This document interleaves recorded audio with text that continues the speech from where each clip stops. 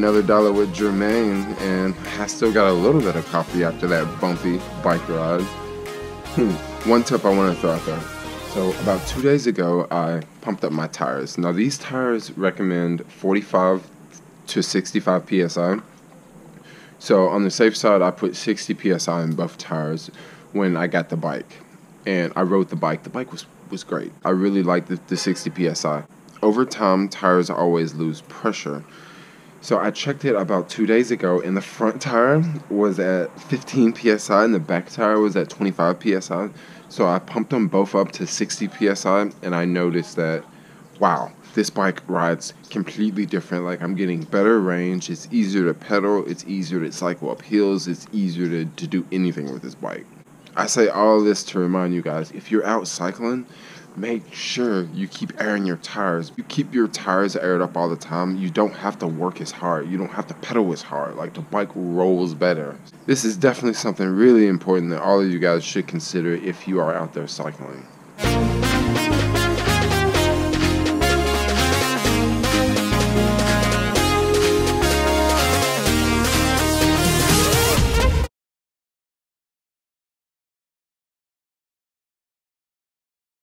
Where did the day go? It's like 6 p.m. now. I just woke up from what? This is the second or third nap I've taken today.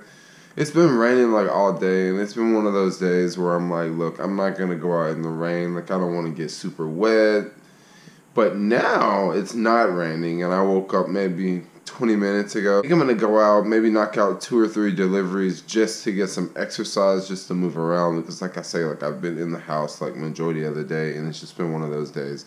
And I've been reading in the comments, and I see that a lot of people are talking about the GoPro. They're saying that the um, the footage from the Sony camera looks better than the GoPro camera. Well, one thing I do want to remind you guys is ever since I've been using this camera, I've used this camera for like three days. It hasn't been nice outside. Um, so you don't really see all those colors, you know. There's no blue sky behind me. So that's one thing why it doesn't look good. Another thing is this is like a waterproof camera and I've been using it like all the time. And water always gets on the lens. Always like try to wipe it off, but whenever I do that, I can never like wipe it off perfect because I'm usually wiping this lens off on something that's probably already wet.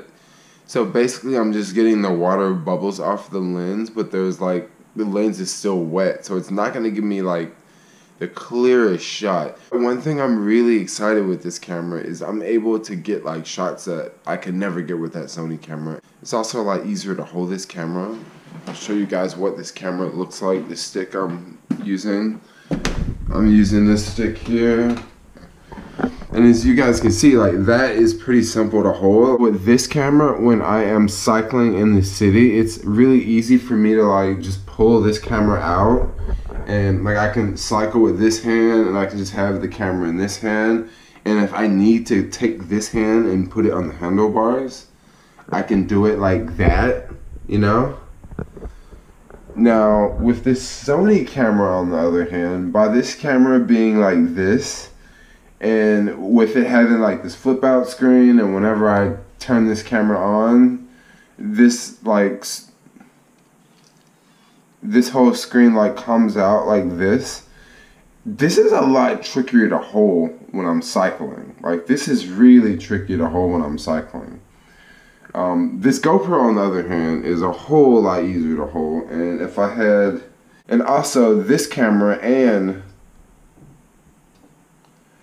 this camera I can't get them wet outside so if I would not have had this camera for the past two days my shots probably would have been a whole lot different. They probably would have been a whole bunch of indoor shots, but instead I was able to get a whole bunch of awesome outdoor shots with this camera because this camera is a lot smaller. I can put this camera in places and I can also like, you know, wave it down and put it back here and I can, you know, do this one to get one of those back angles while I'm still moving forward and I can turn the camera around and get that front angle with this camera, trying to get that back angle is like, it's too much movement with the lens, you know, out, and then I have to change it, switch it around in my hand like that. And this Sony camera is pretty busted up, pretty bad. I don't know if you guys can see it, but yeah, it's it has taken quite a few drops. But yeah, I still like this Sony camera. I'm still gonna use it, especially when I like travel out the US. Like I'll definitely use it. But for city shots and vlogging, like on my bike, I'm probably gonna use the GoPro a lot more because it's a lot smaller. It's a whole lot easier to use. The audio has improved a little bit, but the audio is still much better on this camera and the audio is still much better on this camera, especially with a microphone attached to this camera too. But yeah, that's just a little bit of camera talk for now. Um, I think I'm gonna go outside and get wet because I just gotta go out and move around, get some exercise, get this camera wet, shoot some more footage, and let go. Just accepted the first delivery at my house. About to go pick this one up right now. Can y'all see me? What this night mode look like on the GoPro? Anyway, I'm not wearing my helmet because it's still wet from like two days ago almost at the pickup. This is a double order. So once I knock these two out, cross my fingers, I can just accept one more order or even better, one more double order and then I can call it a night. All right, so this is something they just did in Oakland recently. So the cars used to park on this side of the street and the bikes would go in between the, the parked cars and the cars in the street. So just recently, and I mean like six months, a year ago, they switch it up. So now the bikes go on the inside, the, the cars go on the outside, and the meters are still over there on the sidewalk. It's a little confusing. Every now and then I'm cycling through, and there's cars parked here because they don't get it. They don't get it. They think, okay, the meter is here, I park at the meter. It's kind of a disaster at times, but I guess it works. One thing I love about Oakland deliveries is usually it's a little bit easier to drop off. In the city, you have to be buzzed in, you have to go through one door, then you have to like wait for the elevator, you have to go upstairs, you have to drop the item off. But around here in Oakland, you can like literally knock on the door and give it to them and you're done. That happens in the city too, but just not as much as it happens here. I did all that talking and now my next delivery is in this building. This is going to be Uber's new office in downtown Oakland. Break time. Let's explore Oakland. What is this area? I don't think I've ever been over here before. Let's go check it out. Oh, it's like a little park area. Nice and peaceful here. Maybe I can uh, come hang out here on a sunny afternoon. A sunny Saturday afternoon. Come on, when do I ever hang out at the park on a Saturday afternoon? I should do one more because it's not raining. Like the streets are completely dry.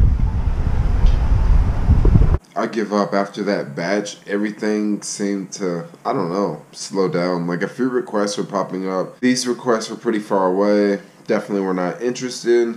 Thought I would just come back to the house and see what's popping around here. There's nothing popping around here. Vanessa and one of her girlfriends, they went to like the Oakland beach. And if you're from the Oakland area, you might think that's funny. What Oakland beach?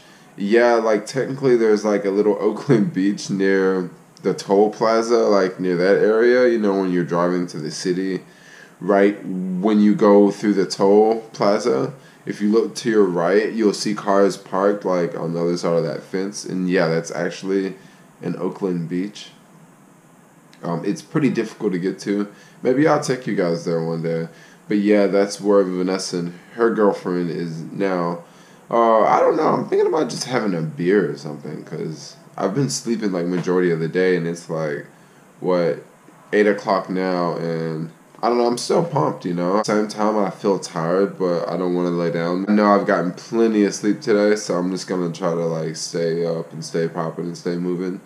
Uh, I don't know. Maybe I'll just go work on some more YouTube videos because I was actually supposed to work on a, a, video today, but didn't really do it. It was raining a lot, and I don't know. I just wasn't in the mood. That's definitely not the correct time. It's the next morning. I'm at WeWork. There's no loud music on right now. It's pretty peaceful. Check it out. Now that's the right time. I think I'm gonna get ready to upload yesterday's vlog because it's I got what like almost two hours to get this thing online. What's up with all these chairs? They rearranged them. I really like these. Check it out. Don't look at all my junk food here. I just got what bananas, oatmeal, raisins, and some some Oreos. But this is the breakfast here: the oatmeal, the bananas, and the raisins. But uh, these are pretty cool desks. Check these out. Let me guess, this one doesn't do it. All right, this one here. See, watch this. Zip! This thing raises up. So you can like stand up and get all your work done. Look how cool it look how cool that thing is. Yeah. Type, type, type, type, type, type, type, type, type. All right, I think I'm gonna end the vlog because I gotta start another vlog like in less than an hour. So I'm gonna go make some breakfast, chop up those bananas, put them in my uh, oatmeal, and yeah, we're gonna see what uh, what's in store for today.